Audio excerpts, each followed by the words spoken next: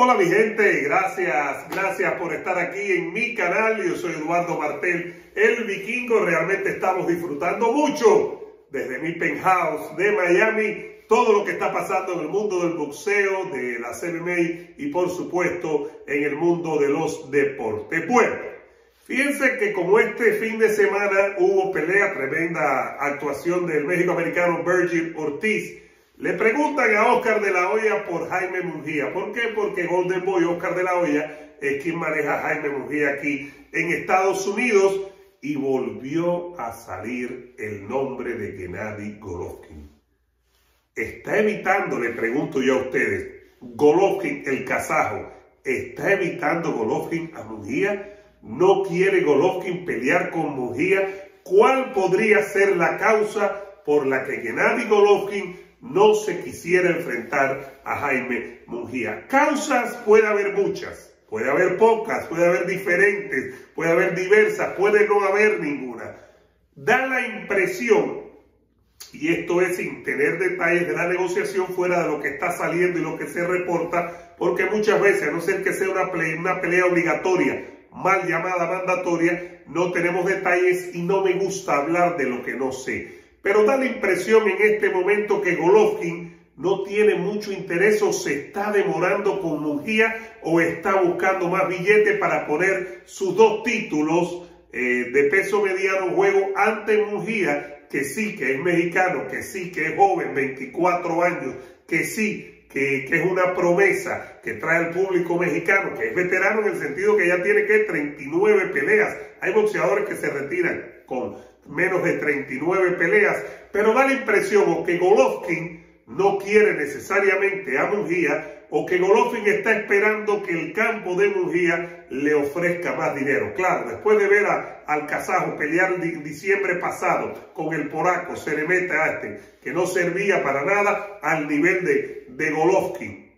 Uno se pregunta, ¿qué estaría esperando Golovkin? ir a unificar con el, con Miura, ¿no? Con el japonés a Japón como se habló en algún momento, o será que tiene esperanzas y como está con Dazón, puede tener más acceso a la información con Eddie Hearn de lo que se puede hacer, o será que tiene esperanzas este año de tener una tercera pelea con Saúl El Canelo Álvarez. Como quiera, da la impresión que la gente de Mujía tiene mucho deseo de hacer esta pelea con Golovkin. Pero el campo de Golovkin como que no está emocionado con el combate, como que pueden pensar que ponen mucho en riesgo y es poco el dinero para lo que piensan que podrían ganar. Ojo, a priori aquí me preguntan ustedes y le digo, para mí en este momento Golovkin es el favorito. Hoy en día, hoy en día, en este mes de marzo, el favorito para mí es Gennady Golovkin, entre Golovkin y Mujía en la medida que avance el tiempo habría que ver.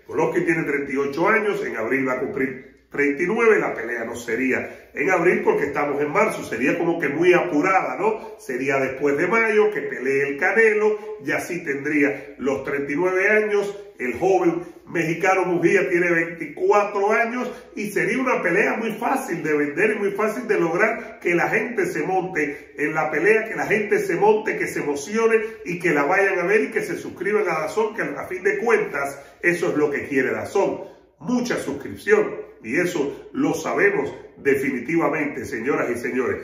Campeón de dos títulos veterano, Gennady Golovkin bastante popular, eh, peleó con Canelo y, se enfrentaría a una promesa joven mexicano que trae el título mexicano a la mesa, 24 años contra 39, el joven guerrero contra el viejo león que todavía sigue tirando zarpazos y que está en la cima porque tiene dos de los cuatro títulos de peso mediano. Es decir, no descartemos a Golovkin por la edad, porque podemos estar cometiendo un error. Y como les dije, me da la impresión que a priori, si ponemos a Mujía con Golovkin, Golovkin en este momento sale de favorito para mí. Habría que ver si la pelea se da, empezar a analizarla y veremos todos los factores.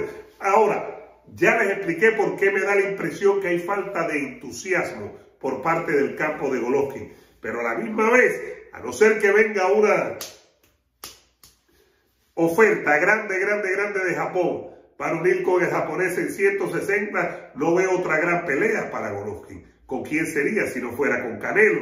Con Mujía tendría todos estos elementos que les he mencionado y la opción público, la opción Texas, la opción Florida, campos de fútbol americano, campos de béisbol, de béisbol, donde se puede efectuar la pelea. Canelo va a tener en el AT&T Stadium, en el estadio de los Cowboys, habilidad de poner, la facilidad de poner 70 mil personas ahí a ver su pelea, de 100 mil que caben en el estadio. Una locura. Esa facilidad con Mujía sería una locura. En Texas, en Texas, en una de las grandes ciudades tejanas, donde el público mexicano y el público méxico-americano diría presente y estaría presente, creo que es uno de los factores que debería tomar en cuenta Gennady Golovkin, el dinero que le van a pagar, que siempre es lo más importante para los boxeadores, nos pueden hablar de grandeza y de, y de legado, pero la bolsa mona, como dirían en, Barcelona, mis amigos, la bolsa buena si la bolsa es zona, la bolsa es buena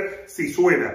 Habría dinero, habría público, estaría Dazón, Mushroom Boxing, entraría Golden Boy que también tiene su negocio. Ya vimos que Virgil Ortiz pelea por Dazón y es de Golden Boy. Lo mismo con Jaime Mujía, peleó por Dazón su última pelea. Hay muchos elementos y no sé qué es lo que estaría esperando el campo de Golovkin me da la impresión en este momento que lo está evadiendo. Evidentemente no es un tema boxístico, ni de temores, ni mucho menos. Lo más probable es que sea un tema económico o garantizar tal vez que pase lo que pase con Mujía, va a haber más peleas. Hay que ver el contrato que tiene Golovkin con Dazón, que ya sabemos que Dazón lo firma pensando, teniendo aparentemente un acuerdo tácito de Golden Boy, que la tercera pelea con Canelo se va a efectuar en Dazón y después Canelo dijo que no. Está claro también, se reportó al respecto, aquí lo mencioné cuando ocurrió que Golovkin tuvo que rehacer el contrato porque el contrato era pre-pandemia durante la pandemia y en este momento que llevamos que un año de pandemia desde marzo del año pasado todos los contratos